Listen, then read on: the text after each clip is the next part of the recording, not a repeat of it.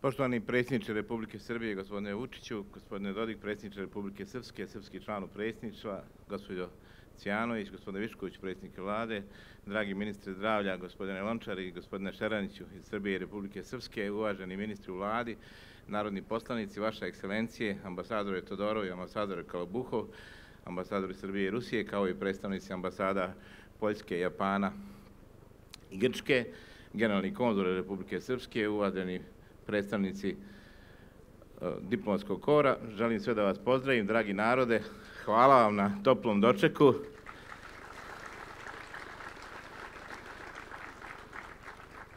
I da kažem da nije tad Radojica bio načelnik, kad sam prvi put došao u stanare, nakon što je novo formirano, otišao sam kao ljekar u Dom zdravlja koji je bio u staroj zgradi Rudičkog kopa, vi to dobro znate, vi ste svi protestovali što je to tako daleko, što nije u gradu i pitao svoje kolege šta im treba i kažu treba im selotep traka široka. Da zalijepe prozore, da im ne ulazi ona prašna od Runičkog kopa. To je bilo najpotresniji događaj i to je bio najgori dom zdravlja u Bosni i Hercegovini. Danas imate najbolji i najsavremeniji dom zdravlja u Bosni i Hercegovini.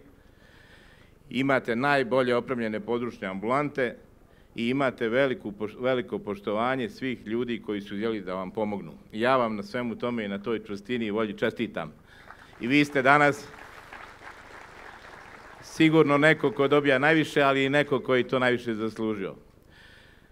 Poslije toga sam naravno ovaj, se potrudio da imam komunikaciju sa svima i da kažem da skidam kapu i, i više od kape ako treba predsjedniku Vučiću, jer mnogi su ono što se kaže šarali po pijesku pa to voda odnese, ali vi ste predsjedniče što se Republike tiče Srpske, sve što ste radili, uklesali u kamen i to se neće moći izbristati nikada.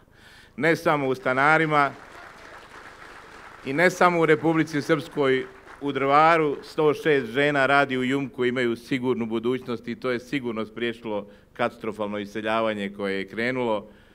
I dom zdravlja u Drvaru je pomognut. Ja sam neki dan bio u Ribniku i naravno prošao sam pored obdaništa Srbija koji je izgledala Republika Srbija i nema ni jednog grada, stanari su bili jedini u kome Republika Srpska nije uredila sportsku salu, dom zdravlja, obdanište, školu, komunalnu infrastrukturu.